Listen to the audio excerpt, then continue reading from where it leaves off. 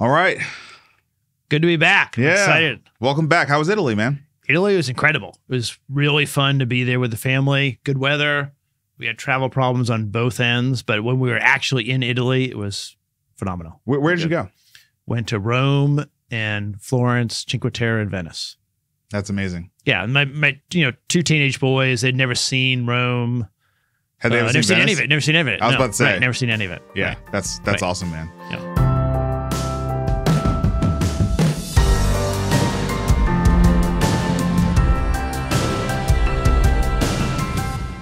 Um, well, we have a ton to And it was great. I really David was incredible. You it was a good job Oh yeah. Well, it's you know, look if you if you pick great people to talk to, right? Yeah. I mean, it's yeah, it's he's a wealth easy. of knowledge. He's Yeah. he's fantastic, and it's it's such a such a pivotal time in the industry right now. Yeah. You know what I mean? Like, so he's he's such a good person, and we'll we'll have more. We'll have more great people on.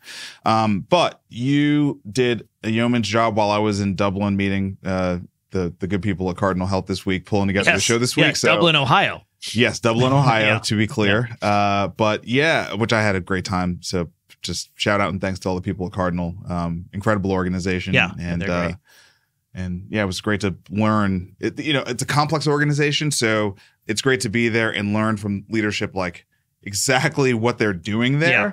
And um, it's it's a lot, and it's also it's a.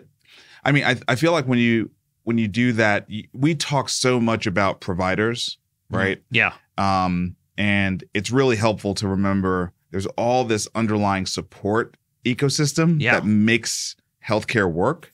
And Well, when they uh, go to the cabinet and pull out materials, Cardinal, well, one of the three big suppliers Right, that's ex- delivered, it, Cardinal does a lot of that. Yeah. exactly, exactly. And so just like getting getting anchored in that Yeah. truth and that reality, I think is is helpful. Mhm. Is really helpful. All right, but you've pulled together a great show, and and it's It's a lot of news this week. Well, a big it's, news it's, week. it's another big it's another big Fed week, right? Mhm. So Yeah. you know we've got we've got inflation news and and uh, we actually have some some real movement on that front for the first time. Yeah. I, you know, I, I would say it's been moving, but this this week's uh, this week's print CPI print really does feel to me uh, like it's it's the the turning point. Maybe you know maybe we're at the halfway point in this of this overall journey. Uh, it's been a year, right? It's Yeah. been a year since the Fed really started activating uh, the hikes. And what what what are Yeah. we what are we seeing here? Well, I mean, uh, I was just talking to someone at lunch today that listens to us while he jogs. So let's describe it a little bit. So yeah, um, this is CPI from 2020 to now. And what we're looking at is it went up over 8% at the peak of inflation hmm when we all were spending our stimmy checks and buying large big screen TVs and new cars. Um, and it's come down dramatically. The the headline is down at 3%, which is not two, but pretty damn close to two. right. Um, and core is core. It's still stubborn. It's called core because it's not as volatile, Yeah, but it is Um, going down. but it's going down. yeah. it is going down. So I think I think that that three percent headline number on its way to two um, is while it may not be the stubborn labor piece from a from a narrative perspective, which really influences the market. Right, this Mhm. is a politically friendly number. I think. Yeah. Right. Um, It's politically friendly. Uh, Wall Street loved it. I mean, the day it came out, the market was up a Right. ton. right. Um, so yeah, I mean, uh, I would, I'd venture to say that the Fed is not going to get to two.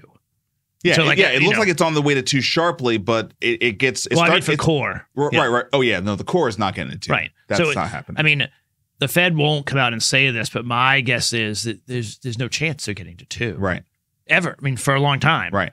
Right. And so this this has been it's really good improvement. Yeah, it's good. It's it's uh, it's good news. Certainly, we're we welcome it, right? Yeah. I mean, you know, Yeah. bring bring an end to this pain we're living in. Uh, would be nice. Right. Um, okay, so so then we have some jobs have- numbers, Yeah, right? the job. So there's two jobs reports. ADP kind of front runs uh, BLS. So the, Right. the the official report comes out. Um, I think it's on the seventh or something. And Okay. the day before ADP, that of course does a lot of payroll processing. Yep. A couple of years ago, they started front running that and giving people kind of a preview. It's of course not as robust as the government survey, but interesting. And so it was really a lot of jobs created. I mean, the leisure and hospitality added 230, 2,000 jobs in the It's month. incredible. That's Huge. incredible. I mean, a lot of months, that's the entire market.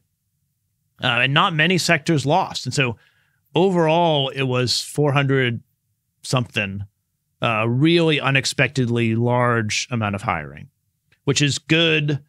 It makes some people nervous about inflation, but but we'll see. I, I like the people people getting hired is good. Yeah, I mean, I I know my friends at the at the CVC love to see that leisure and hospitality number Yeah, jumping right, up like that. Um, that's great. All right, so then BLS. then the official uh, Bureau of Labor Statistics came out, and that was also good, not quite as strong. This is the sector by sector um, categories, and what what I thought was interesting is that um, education is sort of grouped in with with health services, so it's not totally clear. We can't get just health by itself, but from the government's point of view, that was the biggest job growth area, healthcare, which is which is great to see as Mhm. well. Um, and then go to the next one, which is the summary one. And so here, it- this is their summary statistic: two hundred and nine thousand jobs, uh, which is not as robust an estimate as ADP, Right. but certainly not job losses. Stable. I see a kind of a stabilization at that two hundred thousand a year a month kind of level for for six months. Now, there was one month when it jumped up a little more, but we have stabilized, I think, at job job growth, which is which is good. Probably a healthy number. We, I mean, a thousand jobs at the peak there in February is is not nine hundred is too much, probably too hot. So we've we've spent the vast majority of our time putting this podcast together for the last three or so months, um, talking about the durable inflation levels around labor. Yeah. Um, we're seeing growth in jobs. We're seeing energy come costs come down significantly. Um, what you know, what does this mean in terms of the economy stabilizing such that we can do what we want to do as as venture investors? I mean, I, I sort of see that there's going to be a couple of different scenarios going forward, but I think we should cover the the banking changes. Okay. all so, right. so, I mean, the way I see this is pricing is coming down from the from the uh, peak. Maybe go to the next one with retail sales. Yeah, I love this chart. So if you're if you're just listening, this chart should be the reason why. I yeah. mean, we'll- go we'll- on, we'll- go on YouTube and check out this chart. Yeah, you need to check out this chart. All right. So this is uh, a group called Redbook. They um, they measure retail sales weekly, and so it's a it's very often. I mean, every week it comes out. Yeah. and it you know was kind of it's it's an index thing uh, so it's kind of relative but forever for this is back to 01 it was in the kind of you know zero to six as far as like growth you know moderate retail sales. And then in the 09 um you know great financial crisis it went went down negative. People didn't buy anything those several weeks in 2009 when it was scary. And then, of course, in the pandemic, there were there was a month or two when no one was doing retail shopping. Um, but what's really interesting is since the pandemic, you so, see the stimulus checks and kind of the reopening. Everyone bought all kinds of stuff at retail, hmm kind of pent up demand, and also the government sending money out. And e-commerce and, And e-com- what yeah, else? What right. else you got to do? Just home. Right. Yeah. Yeah. Everyone is sort of getting back to uh, life again. And I think that drove a, my opinion is that drove a lot of the inflation. The supply chain was not ready. Everyone tried to buy at the same time. Uh, if people are listening, it, it goes up to almost 18. So it's like a 3X peak. I don't think we have ever seen, I don't think Redbook has ever seen that. This, this chart only goes back to 01, but I don't think it's, It's ever been that high. It's insane. Yeah. Visually, it's it's it's Yeah. obviously a mess. Yeah, it's a huge uh, peak buying of stuff. But the, but now it has come down. the headline is it's dramatically. reverted to the mean. well, it's, well, it's gone negative. So for oh, the it, it first, has crossed. It has it crossed into negative Yes. territory, Yes. and um, that's probably not totally sustainable. But certainly, it, it's gone a long way. Yeah, It's- but but way that, down. that negative is a little bit probably a blip, right? It's probably now going to bounce around the middle again, Yeah, right? I mean, hopefully. I mean, what we'd like to see is this come back to the more healthy, you know, moderate growth. right. And the question is is the Fed rate tightening going to allow that with credit card expenses being Yeah. up and Yeah. you know maybe uh not people don't have as much savings as they had after the pandemic. I don't know. We'll see. But I, I think it's interesting to watch the retail almost as like a leading indicator of where the economy is going. How do you think the Fed? I mean, because you know the idea that they don't ever see this, it, it may not be the core data that they're leveraging, but they they know that this is generally happening. That you know, if we see it, they see it. Yeah. I mean, I take the assumption that yeah. they see more than we see. I Right. mean, if we have it, they That's they right. have it. So how how do you think that they interpret this decline in retail sales? That you know they're always trying to break something, right? So is this breakage positive for them in terms of like saying, "Hey, our our mechanics are working. You know what we're Yeah. doing with interest rates are are functionally breaking the economy to a place where we can start to think about letting our foot off the pedal." Yeah, I, I think they. I'm not sure they want to break something. I think they want to cut the um, growth of the economy Yeah, to a point where it doesn't drive prices up so much. yeah, but and that, retail is is probably the best indicator for that. right? Yeah. Like so that's prices were really high because there was so much demand in large part. right. And so I think the Fed would be happy that it has come down like this. Um, the thing that would break would be more like a credit event or some the markets don't function. I don't think they would worry about the retail spending coming down. Mhm. That's probably good. It's gonna it's gonna it's gonna have the effect of reducing inflation. And it's certainly good from the high that it was at. I mean, that high is bad. Way too high. That's Yeah. bad. Yeah. Yeah. Yeah, so hopefully we'll see this uh, recover. What we wouldn't want to see is it keep going down. hmm Right. So that that's the that's the question. It's it's come down dramatically. All right, and then uh, you found this story on on banks and the Fed. Yeah. So the Fed uh, vice chair for supervision, they have a lot of roles there. Michael Barr. Uh, yeah, he he testified in Congress, and they are increasing the reserve requirements for banks. So the money that has to be retained and can't be lended out um, is being increased, which will provide more resiliency and also limit how much money banks can loan out. Uh, but then also importantly, they are rolling back the the relaxation of the standards for the regional banks.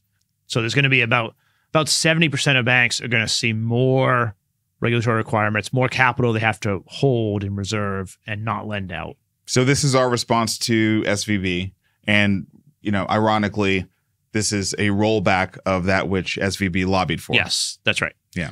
Yeah. And so it's going to, it's definitely going to reduce the amount of money small to medium businesses can borrow, especially if they're on the edge of credit worthiness. Banks are going to go to their Yeah. really high credit borrowers That's and, and not loan That's or, right. or loan at a much higher interest rate through a subprime lender or someone. Yep. So this will have a additional kind of quieting effect on the economy, similar to their rate hikes. Maybe just for some of our um, listeners who don't uh, understand like how banks how fract- how the fractional banking system Yeah. works like why does an increase in the reserves requirement mean less lending So when they get deposits, when a bank gets deposits in, they can then loan out that money again. And the percent of money that they have to hold and not reloan is the reserve requirement. And so, um, but it's an iterative process, right? So they they loan it. So say I give a thousand, I deposit a thousand dollars at Bank A, they can then loan out, say ninety percent of that. yeah $900 yeah 900 they loan it to you but typically they make you get a account a checking account at their bank so now they put the have now they ha- so now they have 900 deposit 900 dollars of new deposits. It's not totally new but but they get to count it as new deposits.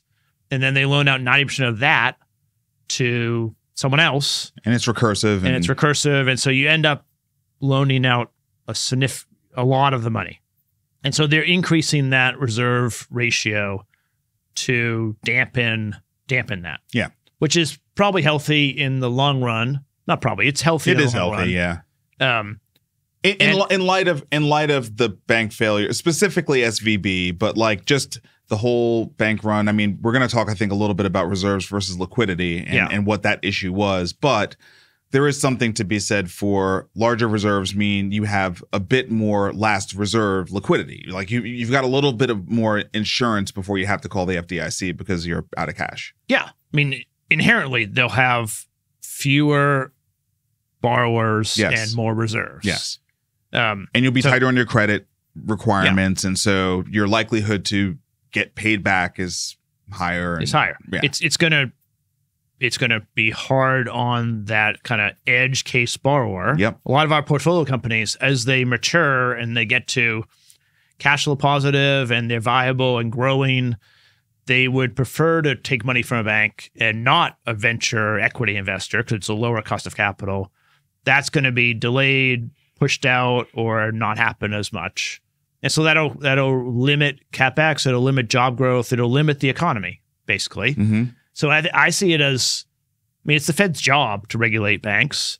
They clearly need to pay attention to it, given what happened in March.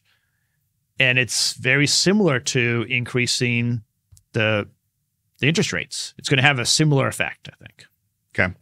So this has has been a story we've talked about for a while. I actually uh, I, I write a column for HFMA's uh, magazine, the Healthcare Finance Management Association, Mhm. uh, that I'm on the national board of. I write a, a biannual article for them uh, in the magazine called HFM.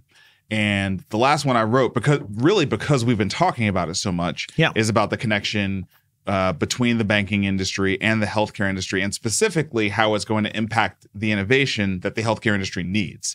Um, Yeah, how and- it affects healthcare and in healthcare innovation. exactly, and have talked about sort of the the potential of a credit event Yeah. um, that could happen based on the rates and the loan to value issue that is bubbling up Yeah, um, and how this is all going to change credit worthiness, is going to change access to capital, going to change bankability even Mhm. um, for smaller companies, and how specifically in the healthcare industry, you know, startups we, we have a higher hurdle than we would in almost any other industry, not any other industry, but almost any- any other industry, because we have to present as more mature because the you know the risk management of the organizations we're selling into is just higher, right? well, there's someone's life at stake, so Yeah. you can't you can't play with it like you might with a an internet toy thing. and there's also just higher compliance re- Yeah. requirements, right? I mean, it's it's life at stake and also just legal peril, Yeah, right? right, there's just, right, there's just right. literally more money is needed to back these companies, Yeah.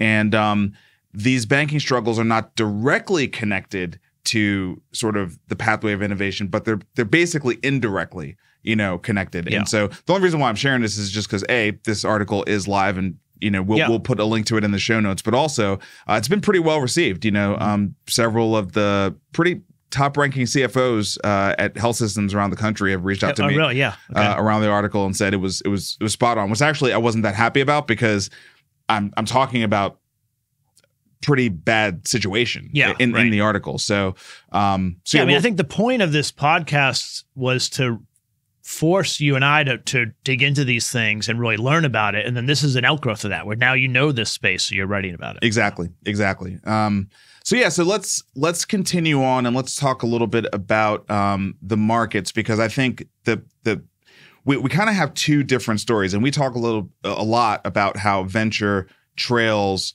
the public markets, right? The public markets pricing mechanisms are real time, right? You know, it's very very transparent, and so last year this time, I mean, it's crazy. We're in July of Yeah. 23, right? But July of 22, the stock market started tanking, right? Right. Because Fed's raising rates, everyone's realizing this is the beginning of a long process.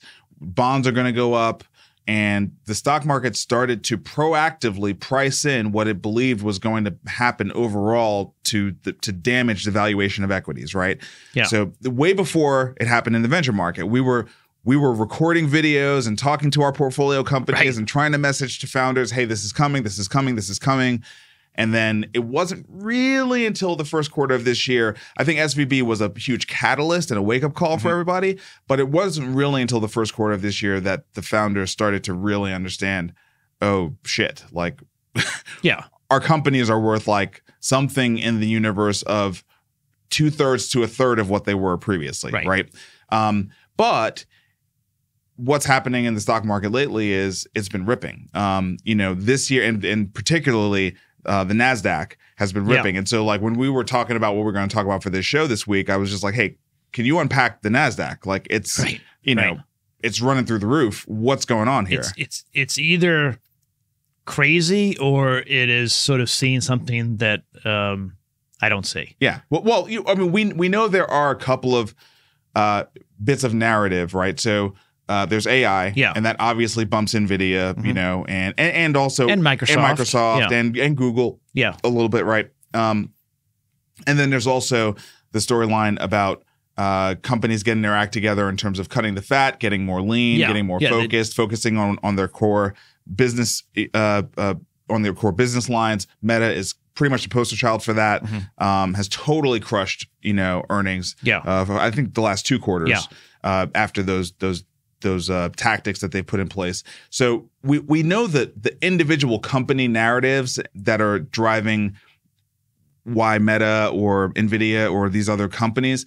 But yeah, I, but I, think, it depends on the um, your view of where the next 12 months is going. right. right? So, like, if the Fed is able to pull off uh, what's called a soft landing, meaning they they sort of slow down the economy and get get inflation in control, but they don't really break anything. They don't make uh, a, a deep recession. It just sort of slows down, and we all take a breath. Inflation comes down, and then we slowly grow in a beautiful you know, G- GDP of 4%, inflation at 2%.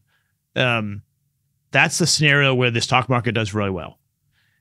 And that's currently the stock market's uh, bet, and at least the narrative they are pushing. Yeah. Right. Yeah, that's right. Yeah. Yeah. I mean, and it's, you know, you make more money in Wall Street when the stock market's going up. Yeah. That's right.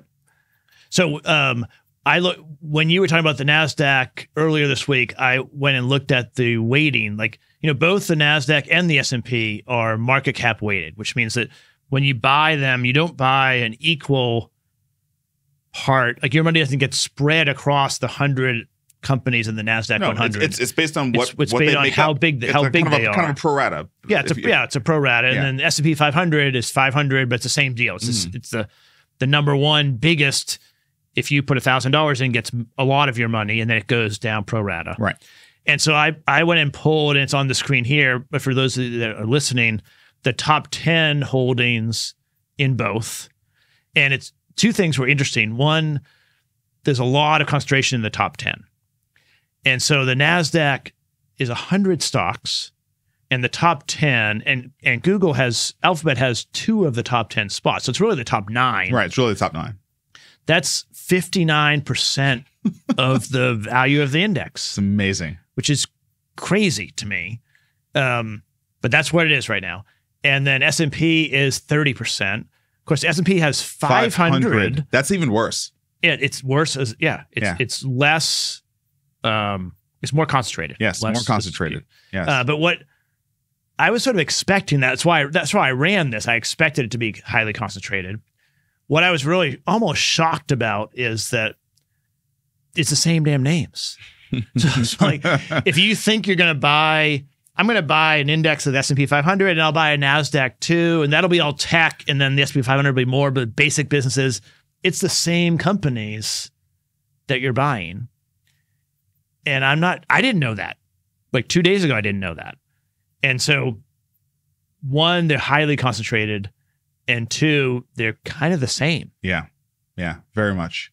Um, and so when we think about the stock market ripping, and, and specifically people talk about the NASDAQ, they've been mostly talking about the NASDAQ ripping. Yeah. And then they're saying the S&P is performing very well, right? Yeah. Um, but when the NASDAQ is 60% made up of nine companies and the top seven of those nine are Microsoft, Apple, Nvidia, Amazon, Meta, Tesla, and, and Alphabet. Right. Well, I think we understand why. It's like there've been great stories for each one of those companies. Apple's now a three trillion dollar company. Tesla's charging network uh, is now going to be the standard for Right. all of the other EV companies that are out there, right? So now they're going from being a car company to a network company. Um, we've talked about Meta. Uh, Alphabet's doing really, really well right now. I mean, it's just it makes more sense. But that concentration is insane, right? So the the swings that can happen in the stock market are largely predicated on these seven tech companies. Yeah, and I think the um, the narrative is is what you said. I think that's exactly right. And so the the uh, people believe that AI is going to be incredibly successful. There will never be any bumps in the road, and it's going to be to the moon. And that might be true. Well, they think they think it's going to fix inflation. Yeah, right. And so that's a great narrative. It might be true. It might not be true, but it sells stock right now. Right.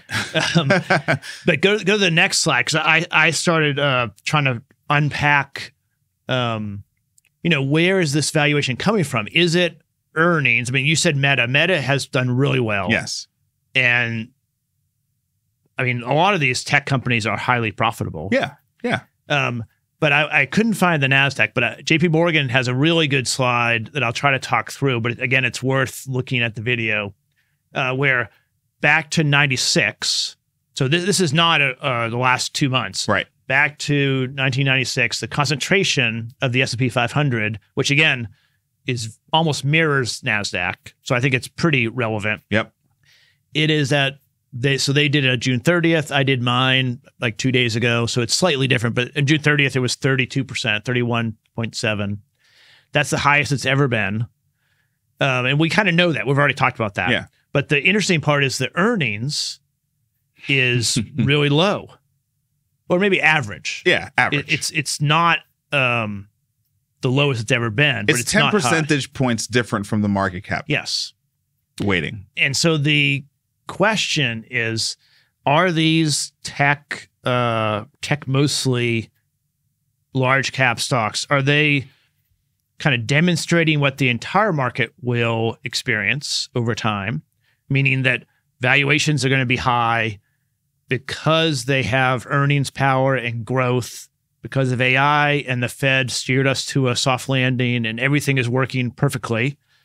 Maybe. And in that case, the entire market would do well. Our portfolio would do well. Everything would be good. We'll all be happy. Um, or is there something else going on around the the multiples and the narrative just around these kind of story stocks? And there's going to have to be a reckoning there. Like so, either the entire market is going to kind of shift up, or there's going to be some kind of correction in these ten names or something in the middle. Right. Um, I while this is a this I think this is a great chart, and I think it's important to ask this question. I think most people in our world will say that market cap relative to the earnings contribution is deserved, um, based on the relative performance of these companies against so many other companies, Mhm. right? That are either pretty much putting along kind of just flat and not really growing much and constrained for whatever regulatory reason or whatever capex reason or whatever opex reason there may be, or the myriad of companies that are going out of business, bankrupt, right? Mhm. Um, many of which are on the public markets, right? Um, or real estate or brick and mortar retail, right? So it's like, I, I think there is a relativity that at least people in our industry in the VC space would sort of say it's possible that market cap is not even um, what it should be. You know, it's it's possible if you're really sort of playing this out, the market cap should be larger relative to the earnings contribution. So I, Yeah, I mean, uh, I, I, I don't know what the answer is. I, I can't predict the future, but I, I think that would be the that would be the innovation community, VC industries, you know, response to this to this graph. yeah, I mean, I think that there's a there's a have and a have not kind of approach to that narrative that I I kind of agree with. Google, Meta, Microsoft, Nvidia, they have technology assets that a lot of other companies don't have. And that, you know, in America, that is rewarded. That's that's great. Other companies need to get their act together and figure out a way to respond. A lot of healthcare companies can't grow that fast, can't have those assets because they it's a it's more of a service. It's it's harder to scale healthcare. Um, so I think that's certainly true. It also is a fear of mine. I don't have facts for it, but it's just a fear of mine that this narrative requires there to be a soft landing and there not to be some major credit problem. And I see a lot of potential credit problems out there. Yeah, yeah. I I I think I think it'll be a lot to track over the back half of the year, and so we'll have plenty to talk about. Yeah. Uh, I- oh yeah. There's I- gonna I be, it's an ongoing story. I can't possibly make sense of it, but um, I do think that the AI narrative accrues broadly across these companies, even to Tesla. I think Mhm. AI accrues Yes. to, to them as well. Um, I think that AI equaling lowering the cost of labor as a whole is a very stock market friendly narrative. Mhm. And while we've talked about how AI is something that basically anyone can spin up because these large language models can be easily cloned, what we're learning or relearning or I mean, I- remembering is that distribution is king, right? Yes. You know, Meta I mean, Threads. Is, I was about to say, yeah. Meta puts, you know, I don't know, 20 engineers in a room for nine weeks Yeah. and they release a Twitter killer. L- literally, like, I haven't seen anybody really talk about this, but literally, they call the app Threads, like, which is at least the colloquial word for stringing together multiple tweets. They Okay, right. literally took a, Twitter term, named their app after it, and 100 million users in what 48 hours something, Yeah. something stupid like that some ridiculous amount of time. So distribution They're, the the distribution power of those seven companies is just done it's just unparalleled. It just is. It's just you know? Yeah, I mean, I guess, I guess we didn't talk about this ahead of time, but I there's no question. Just they are leveraging distribution in a way that is really powerful. But I, I also was uh, thinking about this in a different frame, which is uh, I think it's really interesting to to consider Meta and Microsoft. Okay, so like Microsoft, I think Meta is the Microsoft of the 1990s, right? So Microsoft started they were they had a very dominant market position. Yeah. And they started just cloning things and doing, oh, you have a browser, we're gonna we're gonna do Yeah, that. right, right, we'll, right, we'll just put everything in our in our Windows Yeah. system. yeah And they they were successful until they got so big that they got sort of slapped down and, and in the penalty box for a Right. while. yeah And now they have gone through 15, 20 years where they're now being, I think, really innovative and, and aggressive and trying to turn into a growth company again. They really weren't a growth company for a while. And Meta seems like they're at the opposite phase of that. Like they were incredible as far as innovation, invention at first. But now that they sort of, you know, they they bought Instagram. Yep. They are cloning Twitter and that will be successful but but it's not going to be like a breakout new thing. It's sort of monetizing their existing platform. Well, I, I mean, I think that's why I think that's why this this whole weighting of market cap versus earnings contribution thing is such an interesting thing to look at because um there's so many subscale industries for those companies, maybe Nvidia aside, but at least the software based ones for them to eat. yeah You know what I mean? Like Meta can eat Twitter. yeah And you know, Microsoft. Look, I mean, the, there's a reason why this Activision thing is such a huge story, right? You know, it's because of Call of Duty. right You know, it's because Microsoft. If Microsoft gets their hands on Call of Duty, like they could eat the console business. That like the, you could distill all the first person shooters to Call of Duty. Okay, Yeah. effectively. And if they manage to get it, and you know, i they've think they're going to it looks like it. all, all of the the uk are is the last yeah. Everything's pointing to them getting it, right? And and it's like what what they're turn what these companies are turning into are incredible M&A and distribution machines. Mm-hmm. You know, where they you know, these subscale companies, right, you know, the whole gaming industry right now, it started where everyone was talking about the the publishers. But it you know, that's over. It's now Yeah. the platforms, right? It's Microsoft and Apple. Right. That's who you care about in the gaming world because they have Yeah, the distribution. is still still around, right? I No? mean, well, You know? look. uh, So, I mean, let's talk about it. I Yeah. think Sony had a big issue, which was they made the best console ever created in PS5. Mhm. Supply chain fell down. No one's got one. Yeah. Like I know, like three people who have one. So, Yeah. yeah, so maybe they maybe they are losing it. Yeah. you know, I mean, look, I mean, they're they're they're are they in the game? Yes, they're in the game, but they're not at the level Mhm. of a Microsoft or an Apple, right? You know, in the scale and the distribution and the capabilities, and you know, both Microsoft and Apple have stores in in every city. Mhm. I mean, you know, Yeah. beautiful stores where you can go visit. So we're we're just talking about a, a new era of really. It's interesting. It's like the power law is is really taking place in the stock market. It's really Yes. winner take all in the stock market right now. Um, and, and again, if we're just sort of comparing that back to the point of this show being about healthcare, um, you know, as we, when we compare that to healthcare, this was this was why we had the whole discussion about the A16Z thing. It's like there's really no close analogy to this in healthcare, Right. Um, to to what to what these organizations are able to do relative to even a United Health Group, right? You know, even a United Health Group that's a eh, you know incredible juggernaut of an organization, still generally pretty small in their market share and the relative areas of of of business lines that they're in.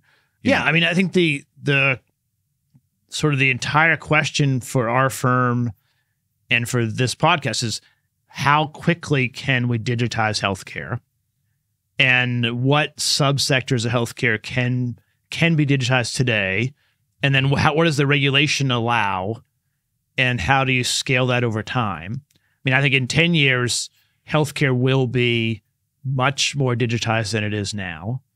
Um, but it but it's much harder. People's harder. life is at stake. It's re- highly regulated. The federal government pays for half of it. So unlike other markets where you can just like go off and go around the the federal government, you, you can't do that because they they're- pay for half of everything. All right, we'll take a break and uh, flip it to Doug to talk about Jumpstart Foundry.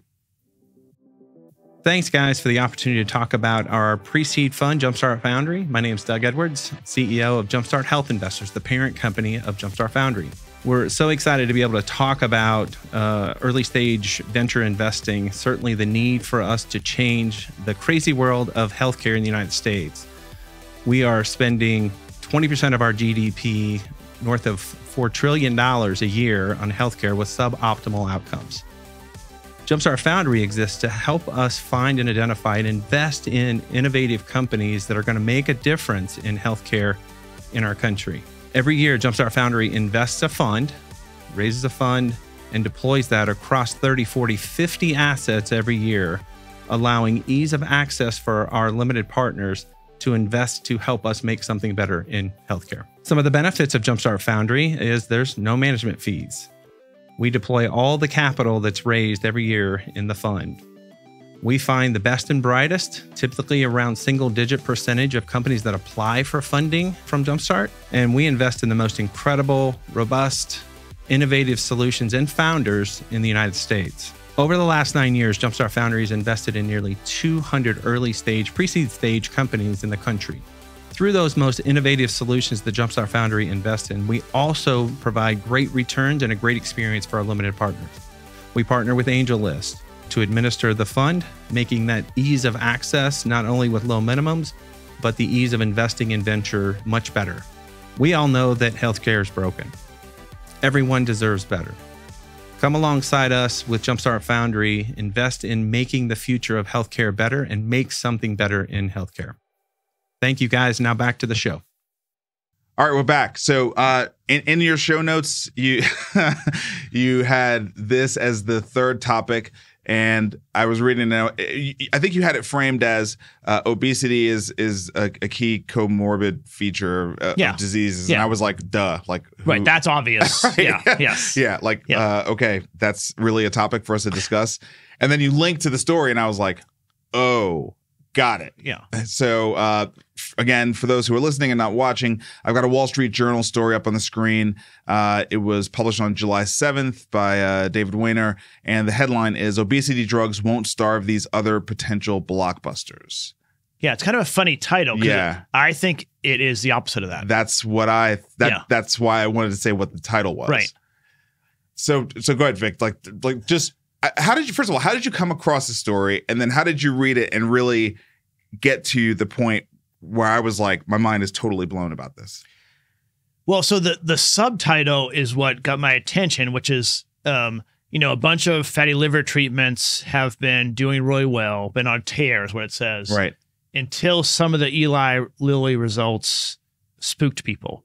And that that kind of is interesting. So Eli Eli Lilly has one of the um obesity drugs and uh I'm not going to say it right. Ret- Retritude, is that how you say it?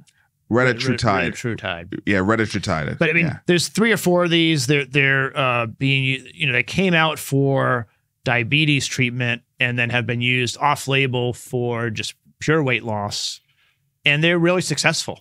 They're very expensive and they have to be injected, which you know sort of limits. Not everyone's comfortable with that, right. But I I have friends I'm sure you do that have lost 50 pounds. I mean, they lost a ton of weight. Well, and also like that to be injected, but so does insulin. I mean, Yeah, yeah. You know what I mean? So Yeah. I mean, not going to be that big of a barrier for you know. Yeah, right. For some A lot of people. right? Yeah. So, um, the reason it's it's interesting to talk about here, we all know that Ozempic and Retitude, and th- there's going to be more. This these drugs do reduce weight gain. They do reduce appetite. They help you lose weight Yep. very quickly. Yep. Um, that's pretty well established. I think, as you mentioned, it's sort of like a obvious statement to say that maybe every chronic disease, but certainly fatty liver disease, is comorbid with with obesity. Almost most people that have chronic disease, certainly that have fatty liver disease, also are overweight. And the study that uh, Lilly uh, was conducting, the drug that is supposed to help you with weight loss, also has significant uh, impact, positive impact on fatty liver disease. And so the question for for I want to get your comment on is might we only need these couple drugs to treat all chronic care and how many how many biotech pharma products in the pipeline should just be abandoned we don't need.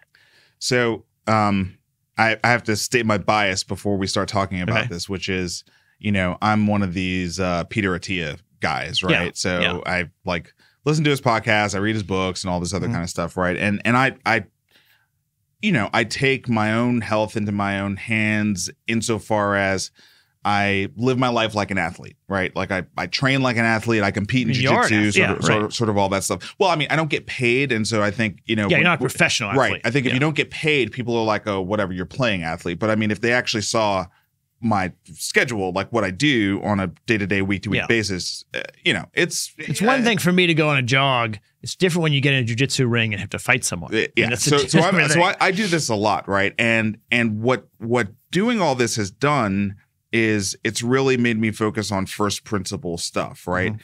And that's what I think Peter Attia is really great at is breaking down things to first principles and saying these are the the biggest causes of death, Mhm. right? Yeah. Um, and um, and these are the things that indicate that you're on your path to this cause of death, Right. Right. And so And there's only, I mean, I in the book I read, he had five that account for, I don't know, ninety percent of people's death. Yeah, and ASCVD is like the Yeah. top one. Th- that's the that's the one that kills most people. You know, people think about it as some type of heart disease, Mm-hmm. Right. coronary artery disease of, of some form. Yeah. But you know, that's the that's the one that gets you. And I'm currently listening to his audiobook where he's talking about Healthcare 3.0. uh it's called Outlive is the name Okay. of the book. Yeah. Um where he's talking about fatty liver disease Okay. Yeah. and and how literally when he was i think he was a resident this was when he started to sort of realize that this was what he needed to focus his whole life's work on Hmm. right was as he started to see over and over again. The, the, Fat- the fatty like the liver. first principle causes Yes, for that. the yeah. first principal cause of all this stuff, right? Of all these people who come in and they're at this point where you basically can't save them. Yeah. Right. it's too late. I They mean, all yeah. have fatty livers. Mhm. They all have fatty livers, right? And so, um, and, and, and I think he actually said, I, I can't remember if it's if it's uh, AST, is it AST or ALT? It's it's it's one- it's, it's one of the the the, the liver um, biomarkers. I can't Okay. remember which one it is, but basically one of those. He said this this biomarker is like just a massive indicator, early indicator that you need to get to work on your obesity and Mhm. use exercise and diet and nutrition and all this other kind of stuff. So when you when you said that this Eli Lilly uh, new drug is starting to show results of lowering fatty liver, you know, syndrome, Yeah. I was like, that is that is a massive, massive potential situation, right? Because you're right, there is a world in which these obesity drugs just decrease all this chronic disease that we've been dealing with. You know, that we've been trying to figure out how to get people through, you know, their lifestyle and the foods they eat Yeah. and their exercise and all these other things. We've been trying to figure out how to get them healthy and really with terrible results up until this point. well, g- behavior change is really hard. Like It's really hard. versus taking a shot once a day, and then I'm not really that hungry.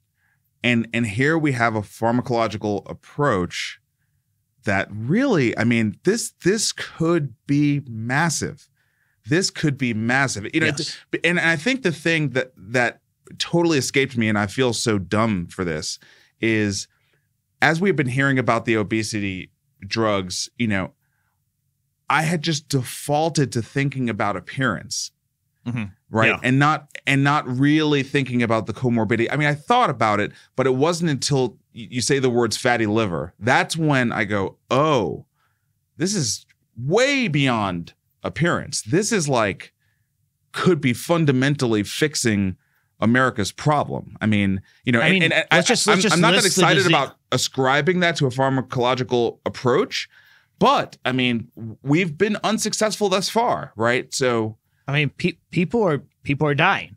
Right? People are dying. dying of fatty liver. They're dying of end-stage renal disease. They're dying of heart heart disease. They're Yes. dying of COPD. All of those and more.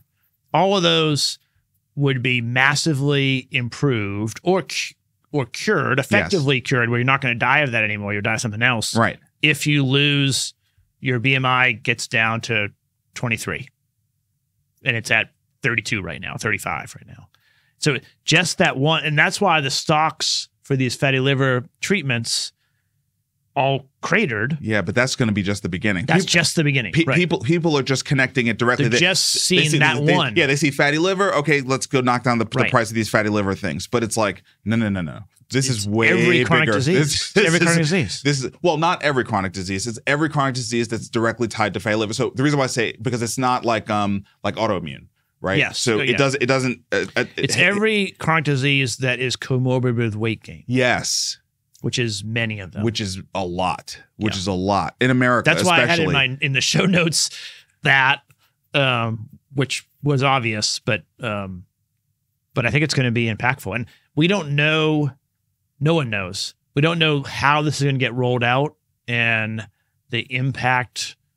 I mean, there are some side effects, it, and it's kind of expensive, but payers will start funding it. look, I, I, I guess all I'm saying is it's early, but it is something to watch. And it's something to watch as an investor, right? I mean, this Yeah. automatically makes me much more leery of doing anything in the diabetes, you know, type 2 diabetes world, especially if it's like a chronic care management solution. I'm like, uh, I mean, look, there, it- it's already a flooded market in that space, so Yeah, you know there, there were already good reasons to to steer clear of it but really to, to think about the, the idea problem that, might that- go away. yeah yeah pharma might take care of this right and that is that's a big big big deal and it, and it'd be incredible yeah for, for society. I, i'm i'm way more excited now about this yeah, I about, I about this, I, this, I was just like you. I didn't care about Ozempic and Ret two, whatever it is, because I don't know. I mean, it makes yeah. I, I was looking at it as an image uh, vanity thing. yeah but it's very different if you start treating all these chronic diseases. Totally, totally. So anyway, like pretty exciting, actually, I think. Yeah. You know, just the idea that we may have a path to help so many people that have basically struggled with with with, lots of suggestions and recommendations and prescriptions for things that you know I, either their body is resisting those things or for whatever lifestyle reasons or or socioeconomic reasons they can't actually do these things it's like the idea that we may have a pharmacological solution that it's just about adherence and now we get you out of the the death trap Yes. right that is diabetes that is ascvd i mean like that's so it's all exciting. um, it's all interrelated. Like Yeah. if you lose some weight, now you can walk a little bit easier. You don't get out of breath so much. Now you can sort of maybe enjoy small meals. I, I think there's going to be probably a lot of different. This, these are the first couple drugs that came out. right There's going to be a lot of other ones that maybe aren't injected, or you can titrate down, or different options. But yeah, it's pretty exciting. Okay. Well, anyway, I'm really glad you pointed this out because this I, I'm going to spend more time researching this this group Yeah. of drugs and and getting smarter about it. I mean, I don't want to get too excited before I understand all of the implications of Mm-hmm. it, but n- just to see that it is impacting fatty liver in in in early findings, Yeah. that's that's a really big deal. That is a really big deal. And I don't know the pathway. The journal, you know, is not scientific. They didn't describe the pathway, but I can't think of a pathway that wouldn't also affect other diseases of of obesity. Yeah. Okay. All right. Final story. Um, not so not so good news, uh, but sort of getting back to our winner take all and smaller companies are really struggling. And it's it's so difficult. So okay, just a, a real quick segue before we dig into this Yeah. Rite Aid story. So so I saw um, a headline uh, about Bob Iger uh, getting his contract as CEO with Disney extended to Okay. 2026, and like an immediate opinion piece was Bob Iger is going to be the CEO of Disney till 2026. Uh, that's enough time that, for him to sell the company. And it's like, I just, you know, thinking about Disney as a, small company that Yeah. you should be thinking about selling, like that's what I mean. Like all of these media companies are going to get eaten Yeah, by the big tech guys. Like that's where we're headed, unfortunately, right? And so it, you know, when we hear Apple is now a three trillion dollar company, that means all these other companies that are not growing at that rate are just by virtue of relativity becoming small, right? And that's it, the reason why I segued is because, you know, Rite Aid is it may be going bankrupt. Okay. Yeah. And this this is this is a big deal. We normally are talking about hospitals that are struggling to stay open. Yeah. Uh, but goodness gracious, if if drugstore, you know, if drugstores are not just as important to many communities, right? yeah. So, um, Rite Aid has 2,300 stores in the U.S. and they have a bunch of debt. The reason this story came up now is they they attempted to refinance their debt that's due in 2025, and they failed. I couldn't get it done. I just heard yesterday about another story of a company that got an extension to refinance their Mhm. debt last year. And I think we may be hearing about them in a month. So if we do, Yeah. I will, if it comes public, I will then say, remember on this episode when I said this, Yeah. but this whole refinancing debt and inability to do it, this is what we're talking Well, it about. goes back to the this first story. literally I mean, what we're talking about. the the banks cutting back on their ability to lend to less than perfect borrowers Yes. affects Rite Aid, affects the company you're talking about. I think, and so they failed at that. They have no plan of how they're going to. They can't pay it back.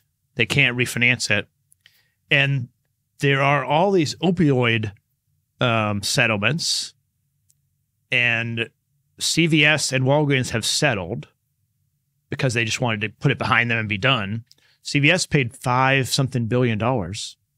Rite Aid doesn't have any money to do that. And so they are in trouble. They've already tried to sell themselves twice, and both times it got uh, squashed. The first time they were selling to Walgreens, I think it was Walgreens, FTC blocked it. And the second time was Albertsons, and the shareholders didn't want it.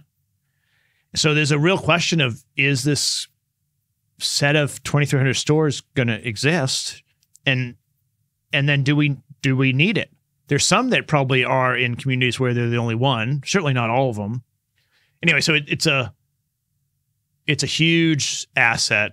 They're probably the second biggest um, after Walgreens. Um, Rite Aid was right across the street from our old office. yeah, yeah, We used to go there at least once a week yeah. for something, right? Um, I think that was the store where, you know, someone where we know that someone that we know went and got their blood pressure checked, Yeah, and, and it ended and ended up being like a big emergency. Yeah. Right. Um, so like, And and the fact that she could just walk across the street and get checked. I mean, not that she wouldn't have maybe ever gone, but it was it definitely helped her get the care more quickly. Totally, totally. Well, well- you know, because otherwise we weren't, we didn't know what the issue was, right? Right, I mean, right. she's not feeling well. Okay, fine. Then no, the blood pressure is like through the roof. Okay, we know what that is. Let's Yeah. let's go deal with that. So I think there's just, uh, eh, you know, more and more clear signs that um, access to care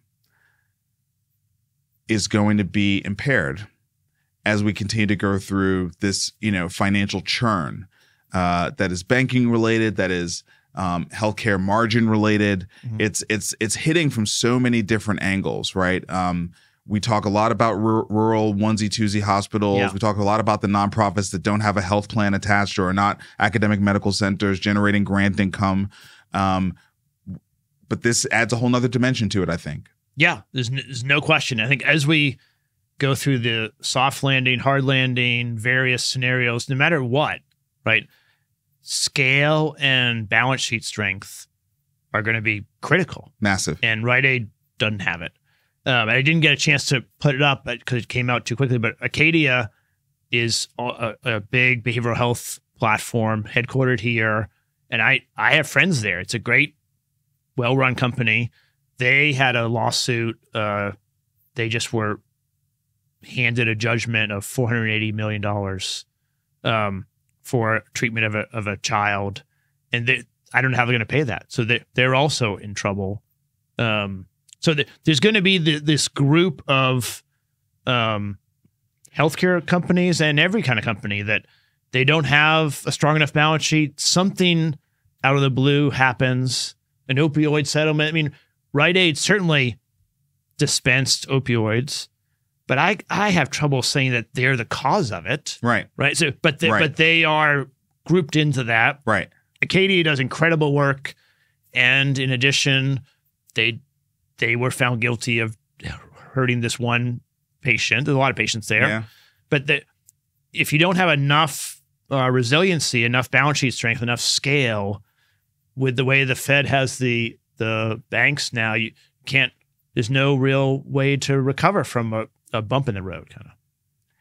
So, I mean, I don't know how we summarize this show. Uh, this is kind of a bummer note to end on. Um, maybe we should have thought about rearranging this a little bit. Maybe we should have put should this have put before the the, Ozempic thing. yeah.